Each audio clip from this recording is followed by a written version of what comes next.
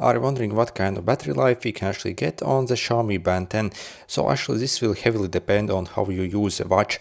So in the official specs Xiaomi claims you can get around 21 days of battery life, which in my experience with the past uh, Xiaomi bands actually, uh, so it should be actually uh, true. So again there isn't uh, much change between these two different watches for example.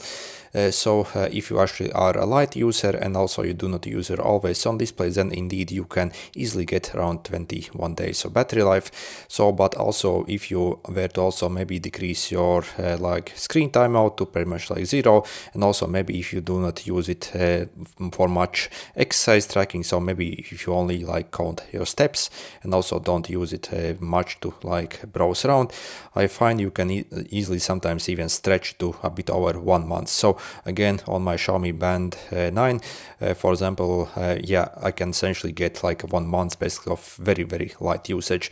But obviously if you also enable your always on display and also enable uh, some kind of like uh, more re refreshing of the screen and also the sensors uh, then you can maybe stretch it to up to maybe like six days. So again with uh, always on display. Maybe even a bit less so if you heavily use it. So again it kind of really does depend on how you use. But again those uh, three weeks of uh, battery life claims are actually kind of accurate on this so i can confirm. Anyway good luck